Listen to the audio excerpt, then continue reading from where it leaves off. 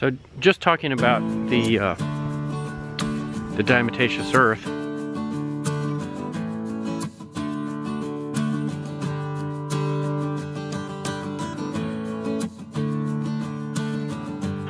I wanted to show you guys what happens to it after it rains. Alright, it's all gone. It all washes in. So it's something that has to be reapplied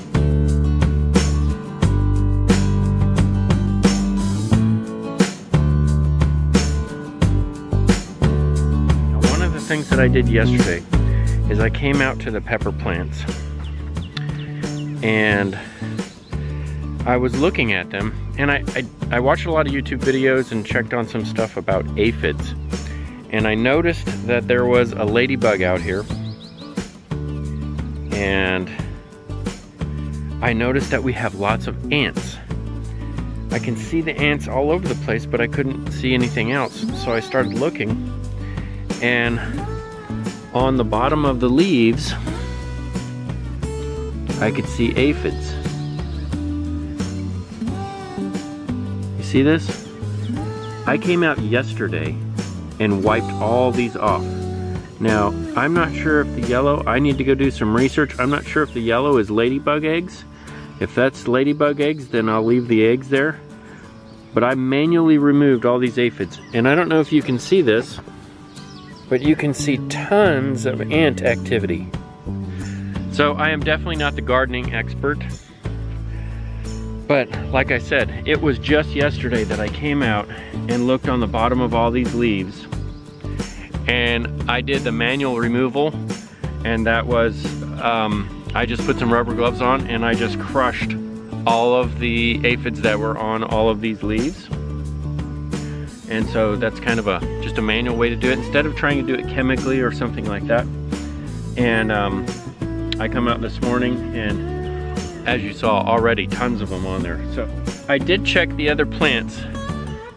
I checked the because you see how you see how big these are getting. I mean, look at this. This is huge.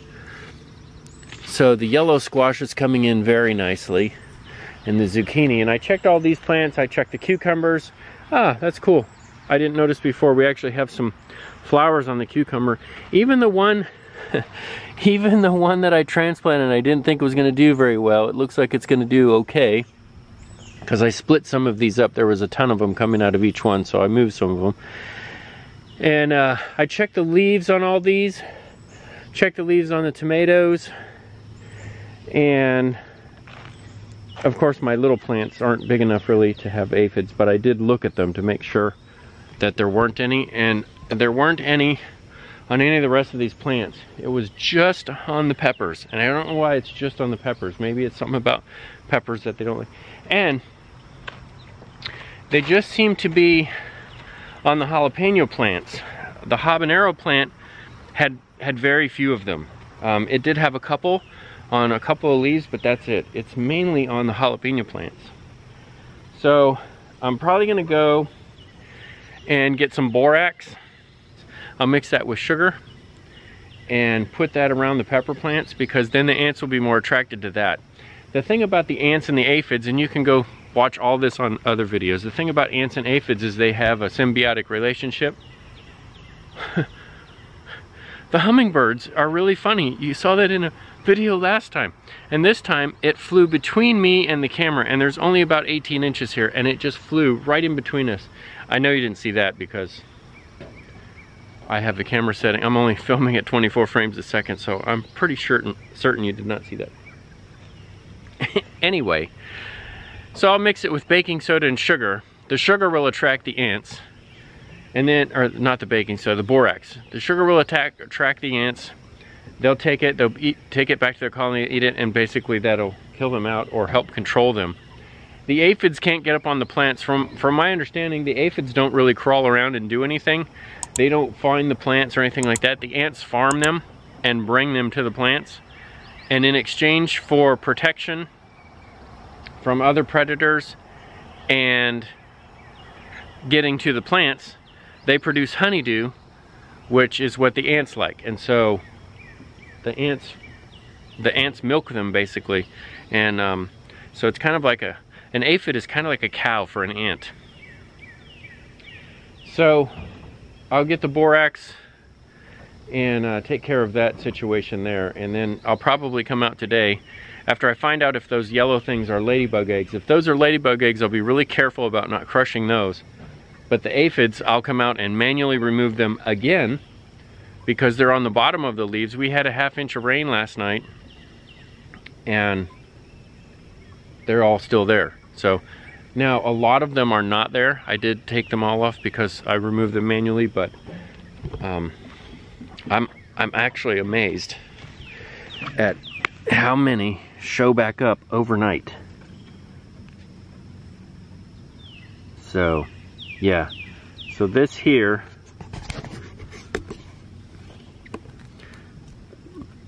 So I'll check to see if these, see the ants coming out here farming, making sure that, that the honeydew's okay. So I'll check to see if those are ladybug eggs and then I will just I will just manually you know the aphids you just pretty much you can crush them. And I had so many of them. See now those are all dead aphids. Look at this. That's amazing how quickly they come back so hopefully my ladybugs will start coming back too but the good news is is look we're getting peppers we're getting some jalapenos so hopefully I can keep the aphids because look, it's they're destroying my plants. They suck all the life out of your plant. So I will work on the aphid control, but we're getting jalapenos on on both plants. But I still see lots of ants coming out here to make sure that their aphids are working for them. And I have a lot of aphids on all these plants. So yeah, I'll be working on getting getting rid of the aphids. Um, because I don't want to use, we used to use, a long time ago, we used to use Sevin dust, and we just don't want to use that kind of stuff anymore. So I'm gonna stick with the diatomaceous earth and I use the borax and stuff for the ants. The chickens are very active today too. I put some, I put some, uh, some pine shavings in their nesting boxes and then I flattened out the nesting boxes and I can see where they have been walking around in there a little bit. Um, the good thing is, is it doesn't look like they're sleeping in there and it doesn't look like they're making too much of a mess in there. So maybe they're starting to get to that point where they're thinking about, hmm, maybe this is where I come to lay eggs, which is what we want them to learn.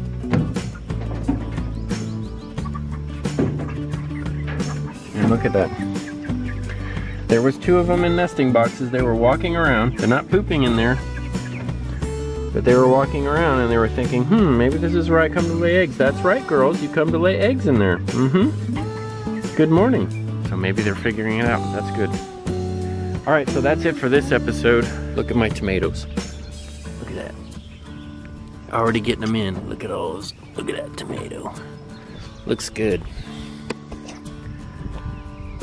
All right, so everything's growing in. It's coming in very nicely. It's nice to have the natural rain too because it's different than the, the water. Even though I pull the water out of a well, it's different water and man, the plants just really perk up. All the flowers over there, all the flowers that we just planted are just doing wonderful over there. So anyway, that's it for this episode. If you like what you see, please give me a subscribe. If you see something I'm doing wrong, let me know in the comments. If you, if you like what you see, give me a comment, give me a thumbs up, like and share. And until next time, Cheers.